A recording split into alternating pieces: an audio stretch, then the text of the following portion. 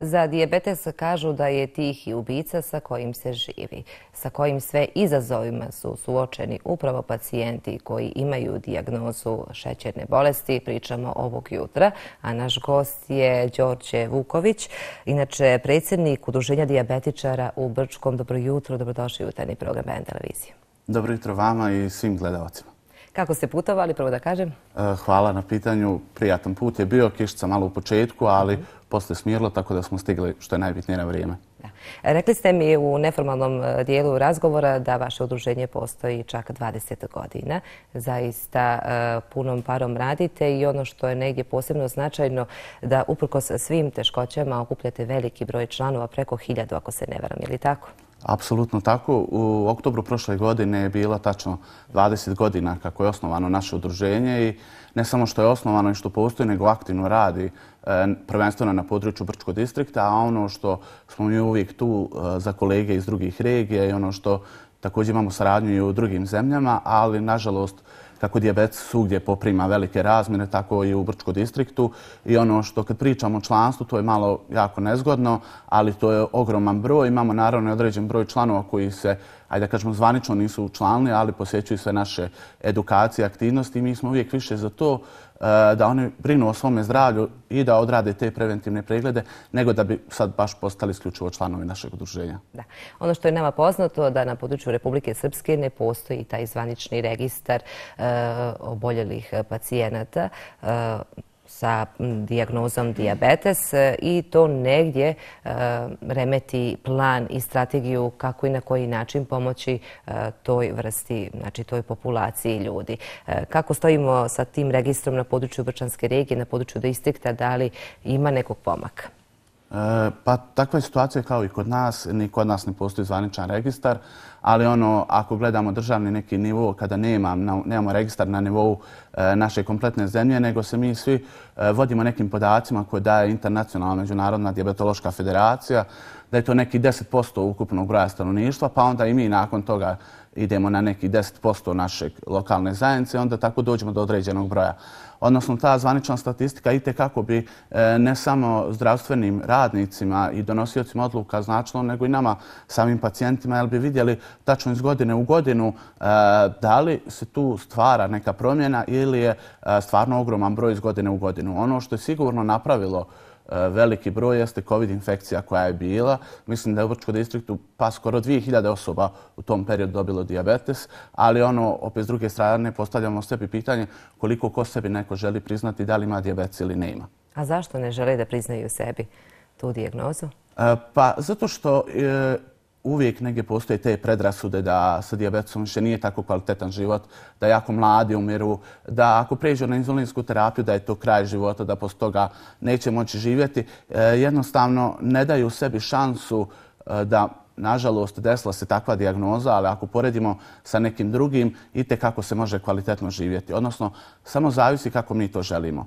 Ali mislim da kompletna edukacija je jako bitna i to podizanje svijesti da dobro desilo se, ajmo stati tu, sad krećemo novi život gdje ćemo sada, to je bila neka opomena možda života, da trebamo više voditi računa o sebi i o svom ličnom zdravlju. Dobro, kažete da se e, da uvidimo kakve su se promjene dogodile. A promjene se dešavaju i ono što je negdje očigledno e, da je sve e, veći broj mlađih pacijenata podložno e, šećernoj bolesti. Šta to govori o našoj populaciji? Da li smo zdrava nacija, nismo zdrava? Kakav život živimo? Pa, apsolutno tako. Ako pričamo o tipu 1, tu ne možemo utjecati na prevenciju. To jednostavno, ako će se desiti, desit će se. Ali ono što je, nažalost, jeste ta pojava diabetica tipa 2, u tim nekim mladim populacijonim grupama. To je, e, nažalost, sav ovaj stil života koje vodimo. Djeca su više za računarima, za telefonom, nego što će izaći u prirodu i e, baviti se fizičkom aktivnošću. To je upravo i te e, fast foodovi, odnosno brza hrana, što nijedno djete ne nosi užen u školi, nego najčešće kupuje te neke brze obroke. I onda dolazimo da imamo veliki broj gojazne djece, pa onda, nažalost, i gojaznost vuče djebet sa tim. Da.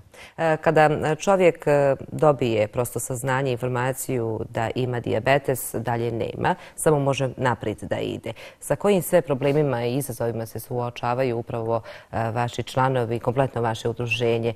Šta je to negdje najkrupniji problem? Gdje vidite problem? Pa najveći problem kao svima, nebitno koliko god to imali, da li pričamo o djeci ili odraslim osobama, jeste prvo e, kako da prihvate da imaju hroničnu bolest, odnosno bolest do kraja svog života. I to najčešće u prvom periodu upadaju svi u taj neki oblik depresije, gdje kao što i normalno ne možete se pomiriti sa tim, e, jako puno pla, e, plaću. To je period kada ne znaju kako će dalje. Najradije bi se svi zatvorili u svoje kuće, ali ono što mi uvijek jeste da udruženje radi svaki radni dan, E, za posebno imamo program i za roditelje i za djecu, a onda s druge strane i za odrasle, jeste da smo mi tu pa nekad s jedne strane e, ta neka druga kuća ili drugi dom, najčešće kada je riječ o djeci, E, znamo otprilike kada izlaze iz bolnice, onda pravimo ta zajedničko druženje sa već dosadašnjom roditeljima i djecom, da oni kada izađu vide da nisu sami, da jednostavno mogu da nastave život dalje, da djeca treba da nastave sa svojim školovanjem, svim aktivnostima, a da roditelji treba da nastave se bave svojim poslom kako bi ne bi cijela porodica trpila. Ako je riječ o odraslim osobama, također imamo dobar dio članstva koji je i zaposlen i koji je stvario svoju porodicu, a s druge strane, ako je riječ o penzionerima koji, nažalost, imaju mala primanja, da s njima pređemo, e, kad je reč o ishrani, kako da sebi napravi adekvatan obrok, a da ih to puno ne košta. S druge strane, oni koji žive sami, da znaju da imaju podršku u nama, da smo im tu uvijek dostupni, e, da toliki broj članova imamo koji žive sami, da mogu živjeti bez straha, da tu mogu doći, da se mogu okupiti, da bilo kakav problem, pa nešto što možemo zajednički riješiti ili s druge strane dati neki savjet, da znaju da smo tu. Tako da, e, diabetes je nama samo poveznica jedna, a za ovih 20 godina veliki broj prijateljstava, kumstava se rodilo. Mislim da smo mi jedna e, ogromna porodica. Da li pri, pričao sad iz svog ličnog iskustva ili o svim članovima da nijedno, ajde da kažemo, radost ili žalost ne možemo proći jedni bez drugih i da znamo da se uvijek jedni na druge možemo sloniti. Da, pričat ćemo o vašoj ličnoj priči, ali moram da se osvrnem na ovaj vaš e, komentar e, da zaista udruženje je dalo mnogo toga za ovih 20 godina postojanja i rada. Međutim, da li su nadležni to tako široke ruke kao vi? Pa mislim da i tekako jesu. Kada pričamo o Brčkoj distriktu, mi to često govorimo da je to poput Evropske unije, da kad je reč o svim institucijama, bilo vlada, skupština, fond zdravstvenog osiguranja, i tekako imamo razumijevanja čak za neke stvari koje smo riješili gdje u drugim regijama naše zemlje ili čak zemljama okruženja uopšte nisu način regulisan. Kod nas donosioci odluka su i tekako i uvijek i danas dan imaju razumijevanja i sluha kad je reč osobama sa diabetesom, bez obzira da li to govorimo o tipu 1, tipu 2, e, bilo koje aktivnosti udruženja tu su uvijek da pruže, ali ono što je uvijek sigurno jeste da ta prava budu konkretna, da osobe s diabetesom i kako mogu se osjećati fino i ono što je najbitnije da što više tih benefita, odnosno stvari, ostvaruju ako pričamo već sad na receptu. Da. Vaša lična priča e, svakako može da posluži mnogima za primjer kako se boriti kroz život i upravo sa tom diagnozom diabetes. E, E, ako se ne varam, 20 godina. Koliko već imate e, šećernu bolest? 23 godine bilo prošle godine u augustu. I koliko ste imali godina kada ste e, dobili diabetes? Nepunih šest godina nisam još ni bio krenuo u školu kada je dijagnoza bila. Da, e, sada lajicima to zvuči jako strašno. Prosto to se život mijenja iz korijena, ali evo da približimo našim gledalcima kako je izgledao vaš život sa šest godina i sa dijagnozom šećerne bolesti. Pa malo razlikuje se period od danas, zato što nemamo tu savremenu tehnologiju koja je danas dostupna, nemamo to udruženje koje je upravo tu. S druge strane, e, okruženje koje je tada bilo, uopšte nije bilo edukovano, niti je tad bio neki broj djece koji uopšte mogao dobiti dijabetes. Tako da je jedan malo, malo teži period, ali ono što je na neku sreću tada bilo je da je nakon e, tri godine osnovano udruženje i onda smo mi imali tu drugu porodicu gdje smo mogli imati savjete. Jeste što tada niste imali ljekara u svojoj blizini, nego najbliži ljekar je bio u Beogradu i onda ste morali čekati od kontrole do kontrole, majke je moralo u svesku zapisivati pitanja, sve što je interesovalo. S druge strane, kako je tehnologija napredala, tako došli smo danas do savremenih inzulina gdje imamo drugačije penove, moderne inzulinske pumpe. Tada su bile šprice, e, bile su ampule, pa se moralo znati koliki je odnos jedinica, kako će se to obračunati. Na našem tržištu su bili velika dužina igala, pa su onda roditelji iz inostranstva morali nabavljati e, šprice sa malom dužinom iglice kako bi to djetetu bilo prilagođeno. Odnosno, kao i svemu što je tehnologija išla, tako danas i kažemo eh, u diabetu i kako napredovalo i razlikuje se i kako život za tih 20 godina. Ono što je tada bilo posebno jeste da prvi razred moj, ja se vrlo dobro sjećam o ekskursije, da je majka morala ići sa mnom, jer škola nije htjela mene, bez obzira što je to jedan dan bio izlet, nije htjela da me pusti bez pratnje. I ono što ja uvijek govorim e, i ostaću uvijek pri tome da to nije ekskurzija ako roditelji ide s djetetom. Dijete se ne osjeća lijepo, a bez obzira koliko dijete imalo godina, niste ni svjesni koliko to dijete sa dijabetom ima neku dozu odgovornosti i uvijek e, ću ostati pri tome da djeca s dijabetom su daleko zrelija od svoje generacije. Da, ali ili ima sredina osjećaja za tu osobu? Jesmo li mi kao društvo sazreli upravo u pa tom Pa mi se e, kao društvo trenutno nalazimo da svakog, svako živi neki trenutno svoj život i sa svojim nekim problemom. E, ako je trenutno nas pogodila dijagnoza diabetesa, e, okolina će u jednom trenutku biti tu uz nas, ali svako nastavlja svoj neki život dalje. Ono što ja sigurno e, ne bi nikad nikog osuđivao, nego svakom dao šansu za neku edukaciju, pa i toj okolini, da nauče šta je to diabetes, da vas ne treba osuđivati na svakom koraku. Ako su sad vrijeme proslava, pa vi hoćete sad uzeti kolačom kaže ti ne smiješ to jesti, pa vam još nabije osjećaj srama, a u stvari možda vam je trenutno šećer nizak, pa vi to trebate uzeti. Negdje si igrate napolju, šećer vam je pao, pa ćete vi uzeti slatkiš, a neko će pritrčati pa vam uzeti taj slatkiš. Mislim da više trebamo rat na podizanju svijesti e, našeg, naše okoline i naših sugrađana, najbližih komšija, e, da je život i odnosno ishrana osoba sa djebecom isto kao zdrave osobe. Samo vi pažljivo i pametno birate. Tako je. da. Ali evo, na osnovu vaše priče zaključujem da su roditelji vaši podnijeli najveći teret, ali nije ni vama bilo lako. Šta vam je negdje najteže padalo, recimo u tim prvim godinama? Da li možda to nedijeljenje slatkiša sa drugarima, vršnjacima? Kako šta? E, upravo tako, zato što djeca su u početku kad dobiju na takvom vidu terapije da tačno mora biti u vrijeme kad je obrok, kad je užina. Sad imamo te malo modernije inzuline pa to dozvoljava, ali vam je bilo nezgodno da vi izađete da se igrate sa vršljancima, pogotovo kad je ljeto i ne možete uzeti sladoled kad, kad se baš njima jede, nego kad je vama vaš period užine. To je neki otprilike period, pa onda u početku, uh, tad se toliko nije znalo rođendani, pa vi ono, otprilike budete u jednom dijelu kad izlazi torta, vas rote vode kući, da ne bi tad, jer vi ne možete pojesti komad torte. To su neki periodi koji su prije bili. Uh, teško vam je zato što koliko god morate se razlikovati od okoline. Danas, eh, hvala Bogu, sva ta modernizacija i s druge strane mi koliko radimo je da djeca budu u skladu sa svojim vršnjacima.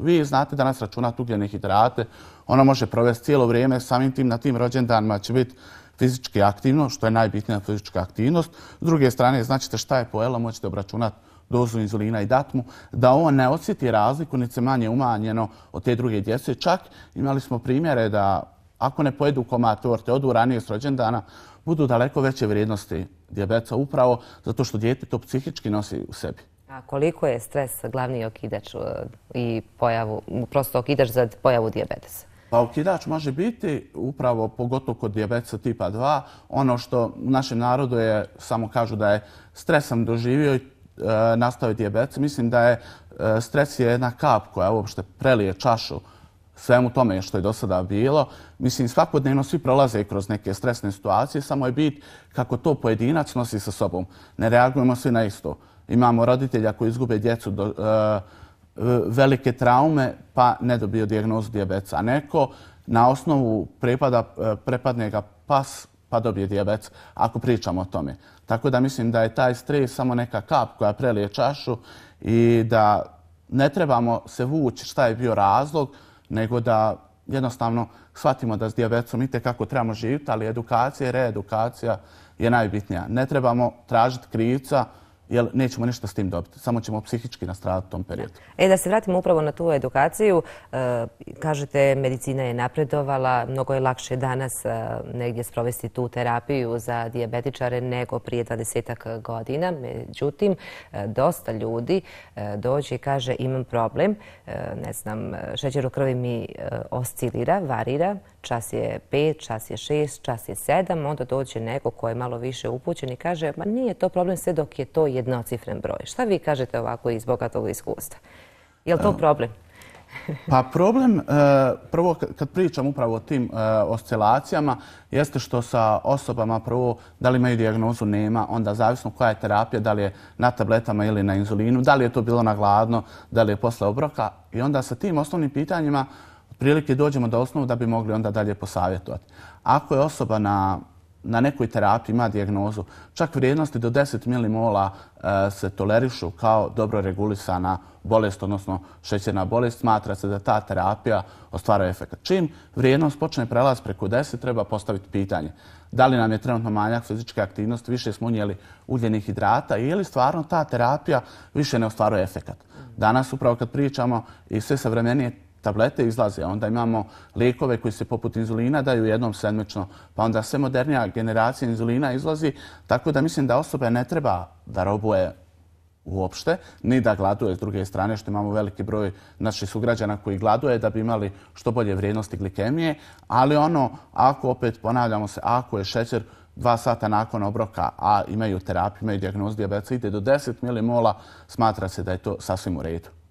Problem je kod osoba koje nemaju diabetes. Ako to već ujutru prelazi 6,1 milimol, tad mi već dajemo savjeti da češće trebaju vršiti prijednosti glikemije. Najbolje je dva sata nakon obroka, tad ćemo onda vidjeti kako ta hrana koju su unijeli jednostavno reaguje. Jer imamo veliki broj koji se nalazi u prediabetesu, to je stanje koje svi se opustimo, to je u redu, sinoć sam kasno jeo, nisam dobro sanjao i svi to, to vodimo. A onda, nažalost, prođe period, stvore se komplikacije i onda tek ga čeka terapija. A možda u predijabetu, ako se reagovalo, moglo se i tekako spasti dosta toga. Da. Evo, Đorđe, sve vrijeme dok smo mi razgovarali, e, gledalci su imali priliku da pogledaju fotografije, e, aktivnosti e, i mnogobrojnih druženja svih članova vašeg udruženja. Međutim, i pred vama je ponovo jedan dinamičan period. Mnogo toga ste isplanirali i naravno u namjeri i sa željom da realizujete značajne projekte koje, od koje će naravno najveću korist imati sami vaši članovi i svi ljudi koji imaju problem sa diabetesom. Pa šta nas to očekuje u martu mjesecu?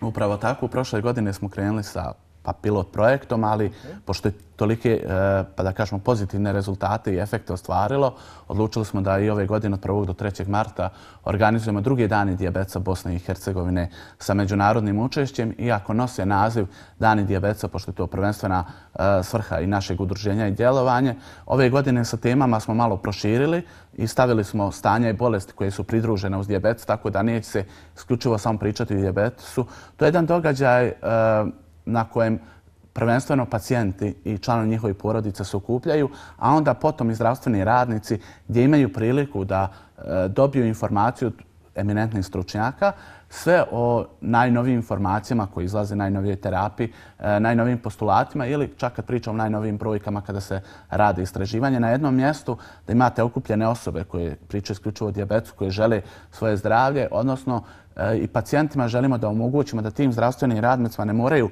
čekati kontrole, po 3-6 mjeseci, zavisno koliko se čeka, nego na jednom mjestu zajedno mogu postaviti sva određena pitanja tokom samih predavanja ili panel diskusija, a i u samoj pauzi, pošto svi ti predavači tri dana će boraviti u Brčkom. Tako da jedan događaj, pored svih tih zvaničnih predavanja, imat ćemo jedan dan samo rezervisano za praktične radionce gdje ćemo najveći dio opet ishrani posvijetiti, ne samo diabetica, nego i drugih pridruženih stanja, zato što je danas ishrana i tekako zauzima dobar dio i odnosno vid terapije i same prevencije određenih stanja više struko korisno, je li tako? Apsolutno. E, I za pacijente i za zdravstvene radnike imamo e, već određen broj e, prijava. Imamo kolege koji će nam doći iz Makedonije, Slovenije, Crne Gore, Srbije, Hrvatske, također i zdravstveni radnici. S druge strane, upoznamo se, međusobno vršimo tu razmenu iskustvom, Vidimo koji su projekti kod njih značajni, šta je kod njih trenutno došlo na listu, šta bi mi mogli da unaprijedimo. Ovo su otprilike kongresi kongresi, simpozijumi koji rade zdravstveni radnici. Ovo je po prvi put da pacijentsko jedno, pogotovo lokalno udruženje radi ovako jedan nivo i nama je drago što je to prepoznato i od strane zdravstvenih radnika, ali pogotovo pacijenata, da mi to radimo upravo jednom godišnje, da se možemo okupiti, čuti to nešto najnovije što trenutno ide, s druge strane da optite kakve savjete, pošto danas putem društvenih mreža interneta šire se tolike informacije, ali mislim da na jednom mjestu i te kako imate pravu mogućnost da dobiti prave informacije. E, Đorđe, želim vam zaista da imate u narednom periodu dobru i kvalitetnu podršku, ali da imate što manje članova. I hvala vam mnogo na ovom razgovoru i na izvenom vremenu. Hvala vama prvenstveno na pozivu što ste našli vrijeme e, i za naše udruženje i drago nam je kad god dobijemo poziv priliku da pričamo o svim tim našim aktivnostima i kada je bilo riječi o ovim samim fotografijama, bilo je jako teško za 20 godina odabrati neke fotografije, ali eto nadam se da smo uspjeli nekako da našim gledalcima prilagodimo, odnosno da vide kako to, dio, kako to izgleda u Brčkom sve te naše aktivnosti. Biće prilike da još sarađujemo i pričamo o ovoj važnoj temi. Hvala još jednom na gostovanju. Hvala vam.